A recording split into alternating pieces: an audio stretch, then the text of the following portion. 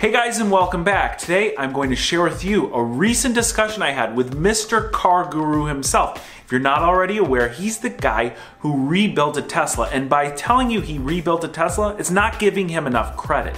He literally took parts from a couple different Teslas and built them almost from the ground up, creating himself his own Tesla. The best part, it only cost him $6,500. Without further ado, here is Mr. Car Guru. All right, Rich, thanks a lot for coming onto the channel. We got a lot of questions to ask you. And I basically wanted to get down to the bottom of a $6,500 Tesla. Yeah, so cool, cool. Paint the picture for everybody watching right now. What was it like when you got the car, when you first saw the car, it was on the back of the truck. It wasn't just as easy as getting off the truck, right? right? It was, it was a complete nightmare. I mean, essentially, I knew that I wanted – uh, a Tesla for cheap. And I figured I went on the auctions, I went on Copart and I found it and it was 14 grand. It's just like, who can beat that?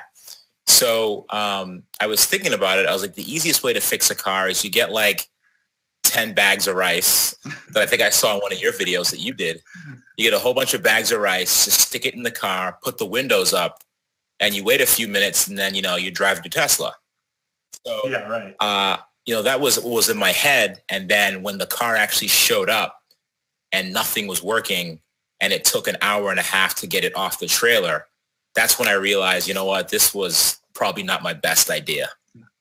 Now, I want to parallel that really quick to a few of the situations that I've been in. You know that the tow truck drivers, it's not just like, all right, let's take the car. Some of them uh, are willing to help you out. Some of them are like, no, you need to call two other tow truck guys and a, right. and a this and a that, and you need all these special tools. And I'm not doing it unless you pay me.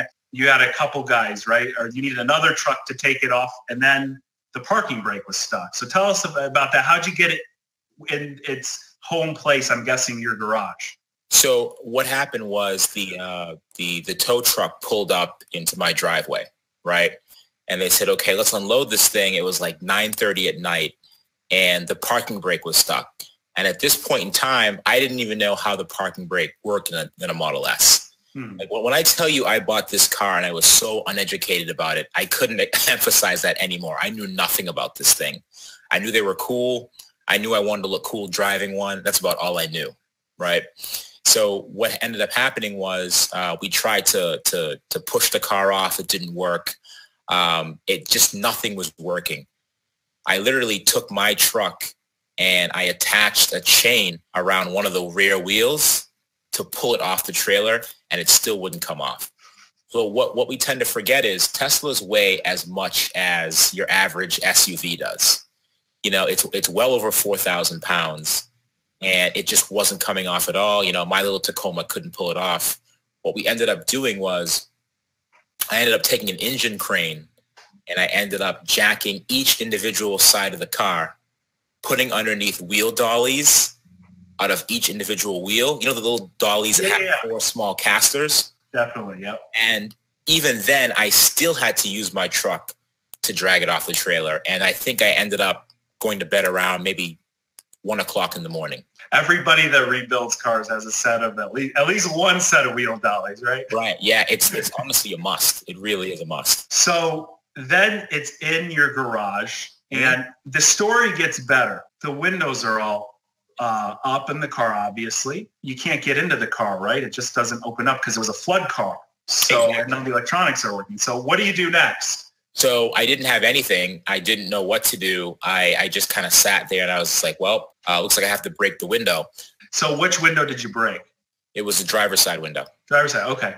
And so you break it. And then this is my favorite part. Okay. You open it and you smell what you smell something. I smell I smell water and it was salt water. Salt water. So it literally smelled like the ocean and the reason why that was my biggest fear was because it'd be one thing if it was fresh water. Fresh water is a piece of cake, as they say. Fresh water, you use the bags of rice and it's dried in a couple of days and you call it a day. Unfortunately, salt water is much more corrosive and it's 10 times worse than fresh water. So as I was going around the car, you know, I was feeling underneath the seats and the, the carpet was still, this car sat for months, right? And the carpet was actually still saturated with water. Not only that, but you know how um, essentially once a car becomes totaled, they don't care about it anymore. So they'll take, you know, if the sunroof's open, they'll throw a bag over it. And whatever happens, happens. If there's a window down, they'll just leave it out in the field. So what was happening was additional water was coming through the sunroof during the time it was in that field, soaking the car even further. Sounds like a uh, sounds like a classic auction car. Tell me if you feel the same way. You almost play a mental game with yourself when you're bidding on these cars. Right. And you say, okay, it's flooded. So I kind of know the pitfalls of a flooded car and I'm going to start and, and, forgive me if I'm wrong, but Dolores was your first Tesla purchase, the flooded uh, Tesla that you rebuilt, correct? Absolutely. Okay, so you have in your mind, okay, this is the first Tesla I've dealt with. This is going to be the pitfalls of the flooded car, but then it comes flooded with a saltwater flood in a car that is electronic based. Everything's electronic based. Right. And uh, the the part I was going to parallel it. See, I, have never bought a Tesla or even any salvage electric car, but even the best rebuilt car, which I told you, my my Lincoln, when I got it, and I opened the door. First of all, there were a couple things going on. The car looked in this condition. I'll put it up on the screen right here. It looked like okay, I had it delivered a mile away from my house because you know tow truck driver driver couldn't come into a neighborhood. Right. And I said, I'm just going to drive it a mile down the road. It's no big deal, right? Yeah. Well, the control arm, an $80 piece, no big deal. A lot of people at home have uh, replaced control arms, was bent. So the wheel was touching the inner fender well. Oh. The fender was pulled back enough to where it was rubbing against the door. And you get the buyer's remorse immediately. Absolutely. Absolutely. I made the biggest mistake. you know what? And I purchased a car before and you don't really think about that.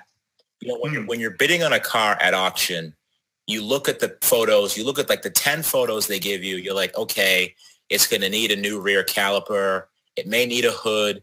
It might need two fenders. Okay, I can deal with that. It looks like the motor's there. I think I can do this. But the problem is, is that you don't take into consideration a smoke smell.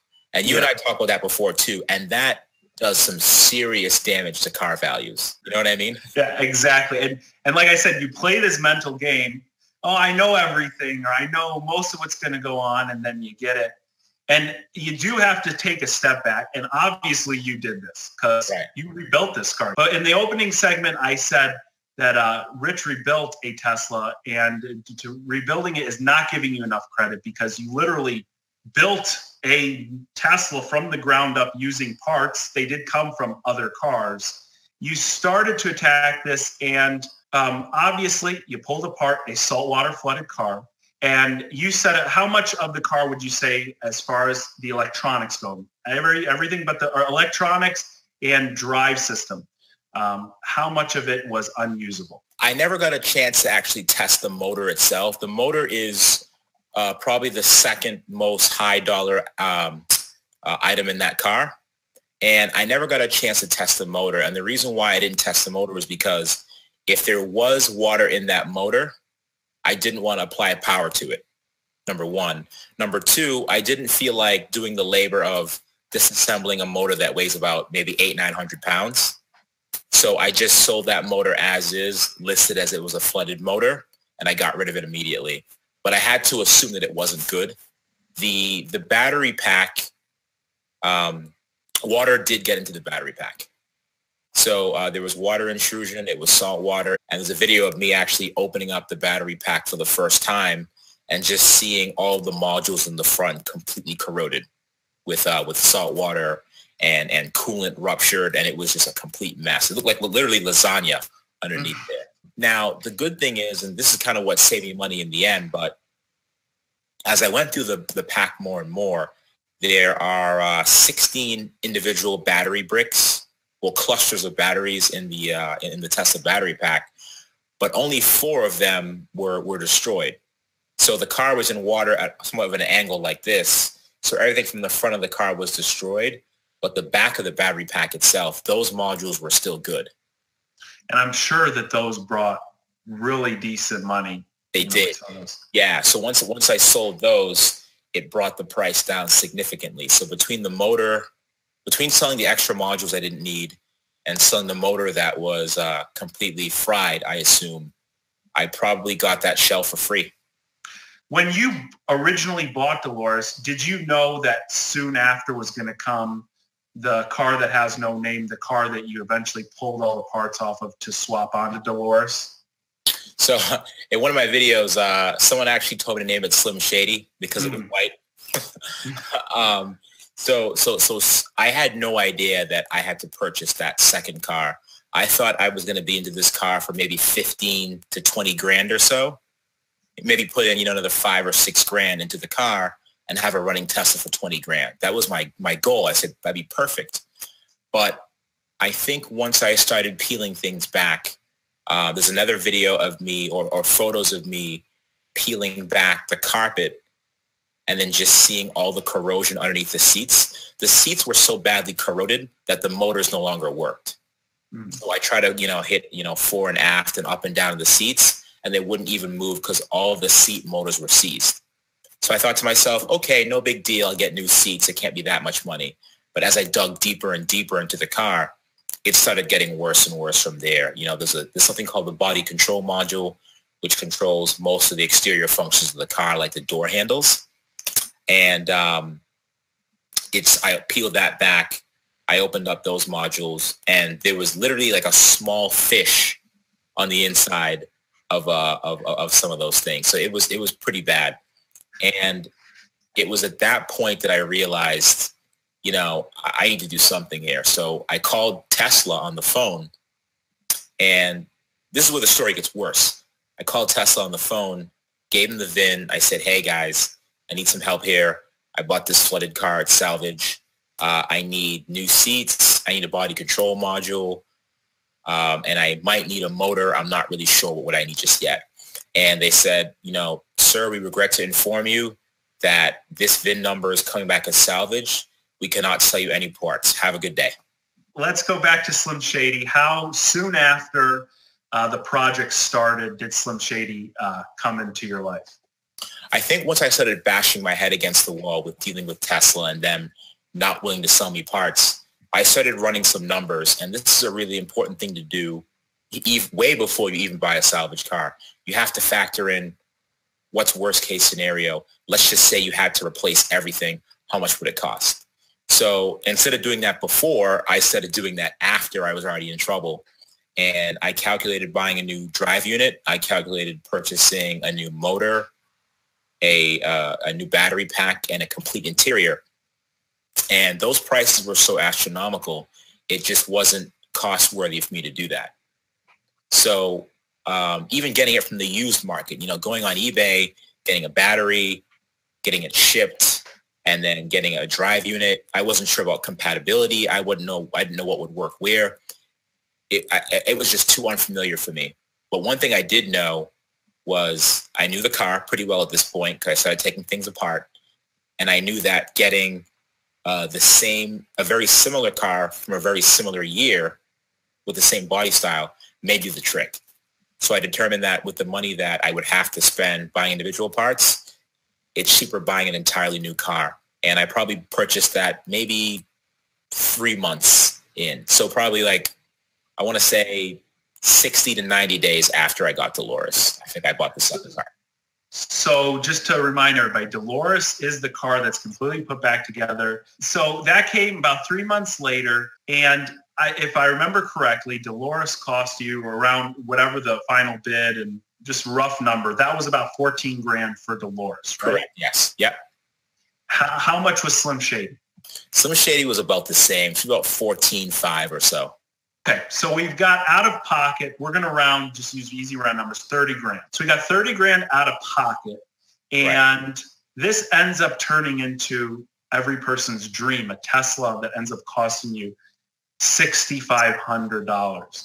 So yeah. I, am going to bring up another viewer question here. And that was, I'll preface their question by saying you swapped every uh, non-working part uh, for working parts from Slim Shady to Dolores and they want to know what was the most difficult or the most challenging part of the rebuild. Oh, that's a great question. Um, there's two things that were very difficult. One was the battery pack. The battery pack weighs about close to 13 to 1400 pounds. And in one of my videos, um, handling that pack itself could take hours.